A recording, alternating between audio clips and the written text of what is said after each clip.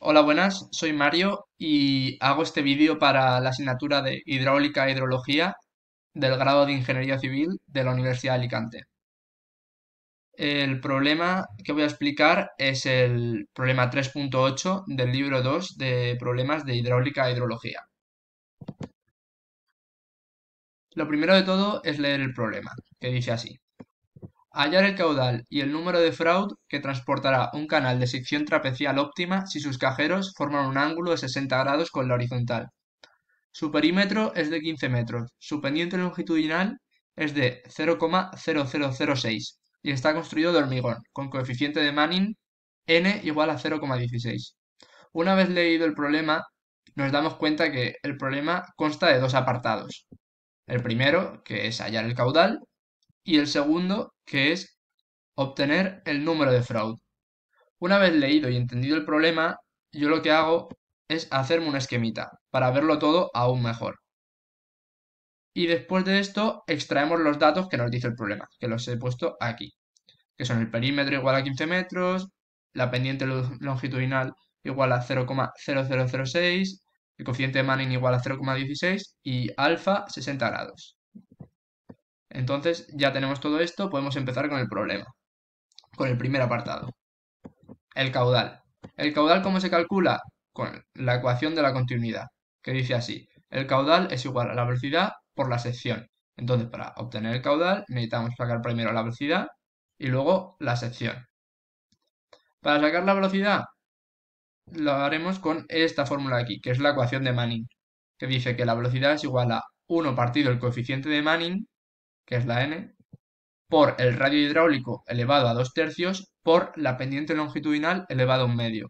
Viendo esta ecuación nos damos cuenta que tenemos dos, dos incógnitas, que es la velocidad y el radio hidráulico. Entonces, para sacar la velocidad habrá que sacar primero el radio hidráulico.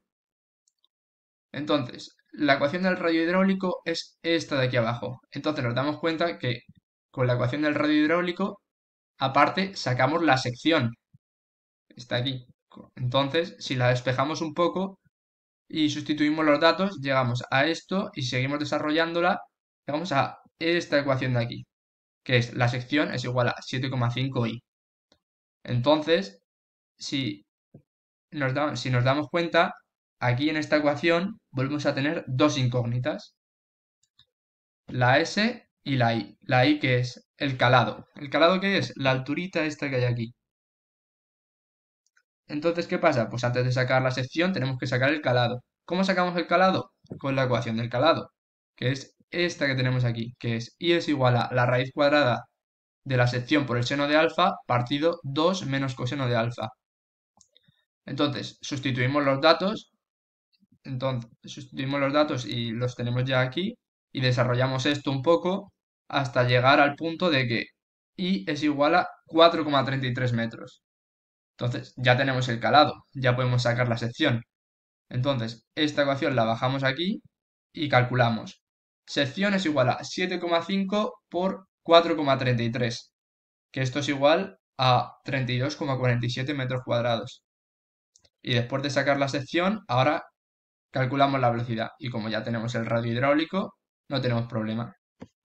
Y sustituimos los datos y nos da que la velocidad es de 2,56 metros partido segundo. Una vez ya hemos obtenido la velocidad y la sección, no tenemos problema en la ecuación de la continuidad. Sustituimos y calculamos. Y llegamos al resultado de 83,13 metros cúbicos partido segundo. Pues ya está, el primer apartado calculado. Ahora vamos a por el segundo apartado.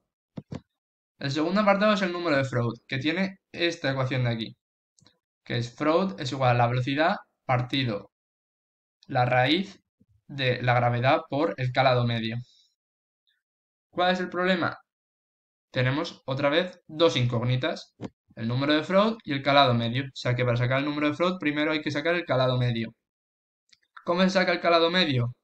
Con esta fórmula aquí. El calado medio es igual a la sección partido B. ¿Qué es la B? El tirante el tirante, que es todo esto de aquí, desde la lámina de agua hasta que vuelva a tocar aquí la lámina de agua.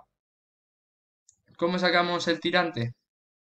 Pues lo sacamos con esta fórmula de aquí, que es igual a 2i partido seno de alfa. Me he traído aquí el i, el calado que hemos sacado antes, y no tenemos problema, porque la sección la conocíamos ya de antes, que la hemos calculado antes, que es 32,47, y aplicando la fórmula del, tirante aquí abajo, no tenemos problema para sacar el calado medio.